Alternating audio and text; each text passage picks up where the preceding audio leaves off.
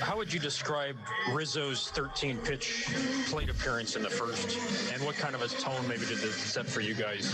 Um, yeah, I mean that's it, it's a great at bat. It's one of those early on that you're hoping can kind of manifest itself there and and uh, you know either lead to a really long inning or or a big inning. Um, but I also think it it it allowed him first and foremost to see a ton of pitches and, and see everything he had, and then obviously eventually later on he hits the homer. But um, you know they were able to get out of it with a double play the next next pitch. But it was, you know, it's one of those at bats that gets the crowd going early on, and um, you know that's one of the things he's known for is, and and one of the things we love about him is he's another one of those guys that makes it difficult, and you know the more we can do that as a group, um, you know, the better better we'll be offensively. Go next to Justin Shackil.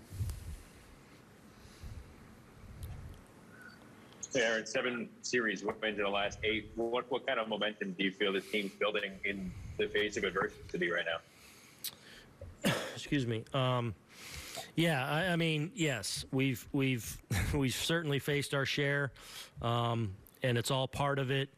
And uh, but I think I think everyone I think the good thing about it is we've we've had a lot of people really contributing. You know, whether it's the starting pitching, the bullpen, um, you know, guys up and down the lineup. The guys obviously we've brought in at the deadline. Um, a lot of people are contributing to us winning games. Um, but the bottom line is we just got to keep our nose down and keep keep after. We got a tough team coming in tomorrow for a big series, and uh, and we just got to you know keep grinding away.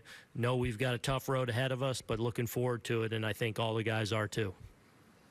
Mark Feinsand. Double digit. Go ahead. Go ahead, Justin.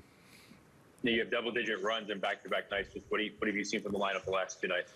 Well, I mean, I think it's the weight of our lineup starting to pay some dividends. I think we are a little bit fortunate enough. We had we had some bounces go our way offensively that allowed us to really pile on. But I think if you look at our lineup now, and and you know, there's some balance there, and I really do feel like our, our best offensive days are still ahead of us as, as this group continues to gel together. And, um, but definitely nice when, when those big numbers have been a little bit of a challenge for us this year to, to throw out back to back double digits, hopefully as a, as a sign of, of just them continuing to build.